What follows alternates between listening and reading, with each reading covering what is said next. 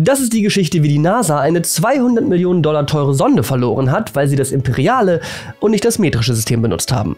Kein Spaß. Der Mars Climate Orbiter sollte der erste interplanetare Wettersatellit werden. 1998 startete eine Rakete mit der Sonde an Bord und zehn Monate später erreichte sie ihr Ziel. Dabei unterlief dem Team der NASA ein folgenschwerer Fehler in der Berechnung der Route. Bei solch langen Reisen muss man nämlich berechnen, wie viel Lichtdruck ein Raumschiff erfährt. Wenn Licht auf eine Oberfläche trifft, dann übertragen Photonen einen minimalen Impuls auf diese Fläche. Dadurch entsteht Druck. Der ist zwar nur sehr winzig, aber reicht bei Weltraumdistanzen aus, den Kurs der Sonde deutlich zu verändern. Die NASA selbst arbeitet zwar strikt mit dem metrischen System, System, aber die Firma, die das Navigationssystem der Sonde entwickelt hatte, nicht. Lockheed Martin kalkulierte den Lichtdruck basierend auf Pfundkraft pro Sekunde und dieser Wert wurde von der NASA vor Start der Sonde einfach nicht umgerechnet. Das hatte zur Folge, dass die Sonde 100 Kilometer näher an den Mars heranflog als geplant und dort in der Atmosphäre verglühte. 200 Millionen Dollar einfach so verbrannt wegen eines Rechenfehlers.